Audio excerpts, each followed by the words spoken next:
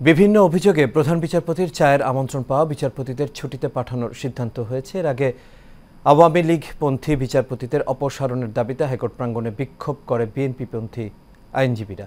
আর ফ্যাসিবাদের দোসর বিচারপতিদের অপসারণের সময়সীমা বেঁধে দিয়ে হাইকোর্ট ঘেরাও করে বৈষম্য বিরোধী ছাত্র আন্দোলন।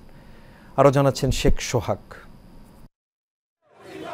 আওয়ামী লীগের আমলে নিয়োগ পাওয়া বিচারপতিদের অপসারণের সময়সীমা বেঁধে দিয়ে ঢাকা বিশ্ববিদ্যালয়ের রাজু ভাস্কর্য থেকে হাইকোর্ট ঘেরাওয়ের উদ্দেশ্যে পদযাত্রা করে বৈষম্য বিরোধী ছাত্র আন্দোলন। এরপর হাইকোর্ট প্রাঙ্গণে অবস্থান নেয় তারা। এই কর্মসূচিতে অংশ নেন অসংখ্য ছাত্র জনতা। বৈষম্য বিরোধী ছাত্র আন্দোলনের অন্যতম সমন্বয়ক হাসানাত আব্দুল্লাহ ও সারজিদ আলম?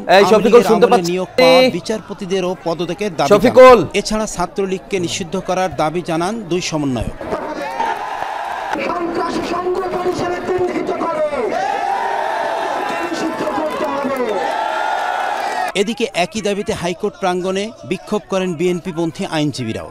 আমরা আপনাদের মাধ্যমে এই দলকানা দলবাজ দুর্নীতিবাজদের আজকেই এখন এই পদে দেখ চাই।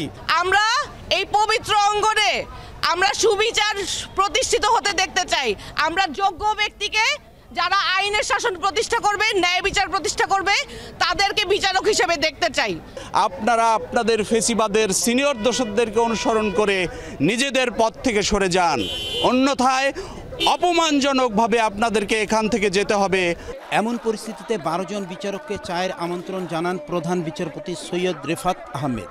পরে বৈষম্য বিরোধী ছাত্র আন্দোলনে বেঁধে দেওয়া সময়ের আগেই বিচারকদের ছুটিতে পাঠানোর সিদ্ধান্ত হয় বলে জানান হাইকোর্ট সূত্র থেকে। Sheikh Sohag Asian television Dhaka.